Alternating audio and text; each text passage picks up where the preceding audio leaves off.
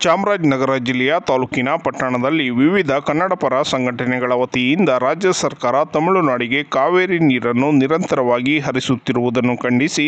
ರಾಷ್ಟ್ರೀಯ ಹೆದ್ದಾರಿಯನ್ನು ತಡೆದು ರಸ್ತೆಯಲ್ಲಿ ಬೂದುಕುಂಬಳಕಾಯಿಯನ್ನು ಒಡೆದು ವಿನೂತನವಾಗಿ ಪ್ರತಿಭಟನೆ ನಡೆಸಿದರು.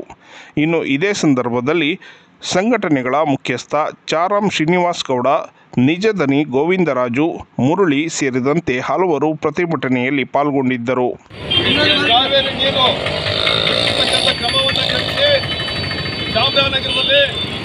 ಬಹುಶಃ ಇತಿಹಾಸದಲ್ಲೇ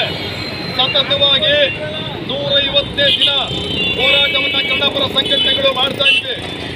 ಇವತ್ತು ವಿಶಿಷ್ಟವಾಗಿ ರಾಷ್ಟ್ರೀಯ ದಾರಿಯನ್ನು ತಡೆದು ಮೂಲ ಹಿಡ್ಕೊಂಡು ಏನು ಕಾವೇರಿ ಭೂತ, ಕಾವೇರಿ ದರಿದ್ರ ಈ ರಾಜ್ಯದಿಂದ ತೊಲಗಬೇಕು ಏನು ಕಾವೇರಿ ನಿರ್ಮಾಣ ಮಂಡಳಿಗೆ ಮಾತಾಡಿದ್ರೆ ತಮಿಳ್ನಾಡು ತಮಿಳ್ನಾಡು ತಮಿಳ್ನಾಡು ಅಂತಕ್ಕಂಥ ಭೂತ ಹಿಡ್ಕೊಂಡಿದೆ. ಆ ಭೂತ ತೊಲಗಬೇಕು ಮುಂದಕ್ಕಾದ್ರೂ ಕಾವೇರಿ ನಿರ್ಮಾಣ ಮಂಡಳಿಯವರು ತೀರ್ಪನ್ನ ಕೊಡ್ತಕ್ಕಂಥ ಸಂದರ್ಭದಲ್ಲಿ ರಾಜ್ಯದ ಪರ, ಕರ್ನಾಟಕದ ಪರ ಕೊಡಬೇಕು ಅಂತೇಳಿ ಒತ್ತಾಯವನ್ನ ಮಾಡ್ತಾ ಬೂತ್ ಕುಂಬಳಕಾಯಿ ಹೊಡೆದಿದ್ದೀವಿ ಜೊತೆಗೆ ರಾಜ್ಯ ಸರ್ಕಾರಕ್ಕೆ ಒಂದು ರೀತಿ ತಮಿಳ್ನಾಡು ಭೂತ ಹಿಡ್ಕೊಂಡಿದೆ. ಆ ರಾಜ್ಯ ಸರ್ಕಾರಕ್ಕೂ ತಮಿಳ್ನಾಡು ಭೂತ ತೊಲಗಿ ನಮ್ಮ ರಾಜ್ಯದ ಪರವಾಗಿ, ಜನಗಳ ಹಿತಾಸಕ್ತಿಯ ಪರವಾಗಿ ರಾಜ್ಯ ಸರ್ಕಾರ ನಿಲ್ಲಬೇಕು ಅಂತೇಳಿ ಈ ಬೂತ್ ಕುಂಬಳಕಾಯಿನ ಹೊಡಿತಾ ಇದ್ದೀವಿ. ಜೊತೆಗೆ ಕೇಂದ್ರ ಸರ್ಕಾರ ಮಧ್ಯಪ್ರವೇಶ ಮಾಡಿ ತಮಿಳ್ನಾಡು ಭೂತವನ್ನು ಓಡಿಸಿ ಕರ್ನಾಟಕಕ್ಕೆ ನ್ಯಾಯವನ್ನು ದೊರಕಿಸಿಕೊಡ್ಬೇಕು ಅಂತ ಹೇಳಿ